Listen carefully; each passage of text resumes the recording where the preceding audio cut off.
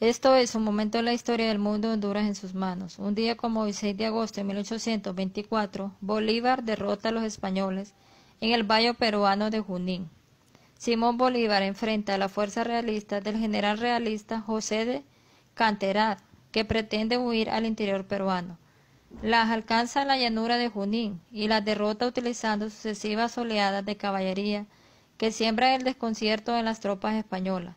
Al terminar la batalla, la principal fuerza realista en el Perú ha sido completamente derrotada y apenas quedan algunos reductos menores dispersos en el virreinato que desaparece. La batalla fue librada sin disparar un solo tiro, ya que las fuerzas se enfrentaron solo con lanzas y bayonetas. Bolívar dispuso de 7.900 infantes y 1.000 hombres de caballería mientras que Canterat contaba con 2.700 soldados a pie y 1.300 a caballo.